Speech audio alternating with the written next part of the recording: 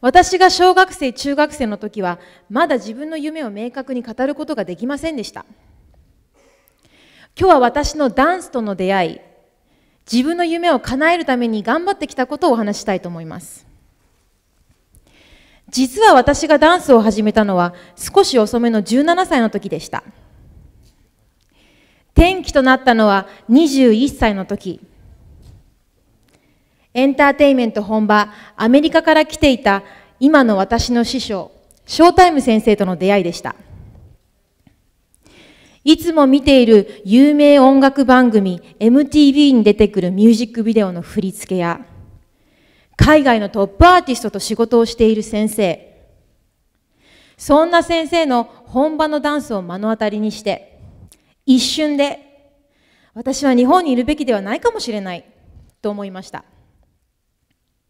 それから1ヶ月後、私は日本を離れ、アメリカへと渡っていました。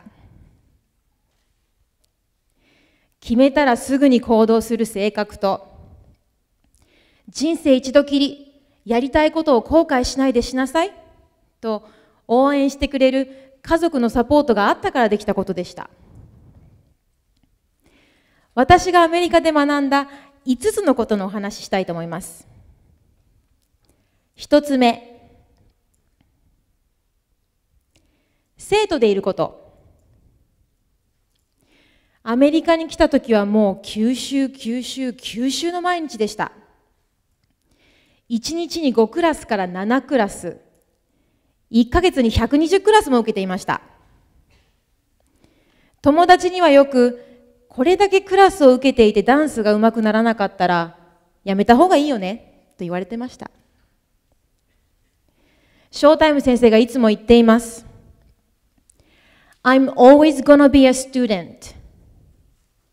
いつも生徒でいること。自分が人に教える立場でいようと、自分は常に誰かの生徒であるということ。二つ目。無邪気な気持ちを取り戻すこと。私は大人になって気づいたことがあります。無邪気でいることがどんなに大変なことか。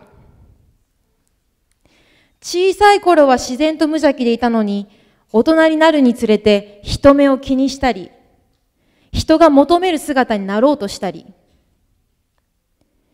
ある日オーディションで思いっきり転んだことがありました。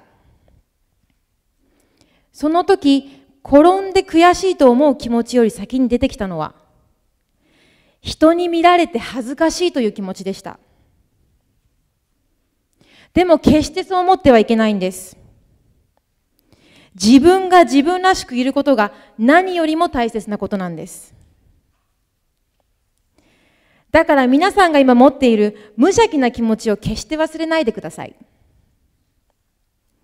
大人になってからそれを取り戻すのはとっても大変ですから。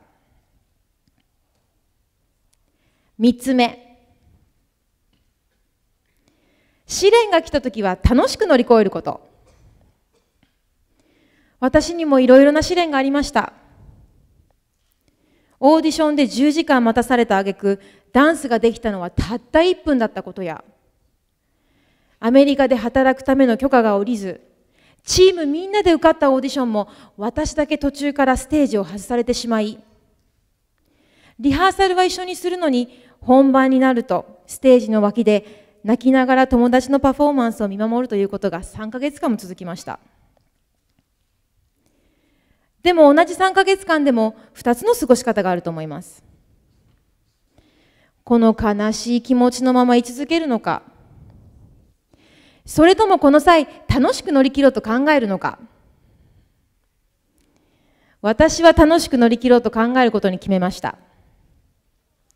その方が断然に気分が良かったです。4つ目。感謝すること。どんなに悲しいことが起きようと、どんなに嬉しいことが起きようと、私は感謝する気持ちを決して忘れません。試練をくださってありがとうございます。私が強くなれる機会をくださってありがとうございます。この素晴らしい機会をありがとうございます。5つ目。Life is good. 私はこの言葉が大好きです。良い悪いではなく素晴らしいという捉え方。そんな風に考えれるようになったら人生がものすごく楽しくなってきました。どんなに悲しいことが起きようと、どんなに嬉しいことが起きようと、私はこの言葉を絶対に忘れません。Life is good.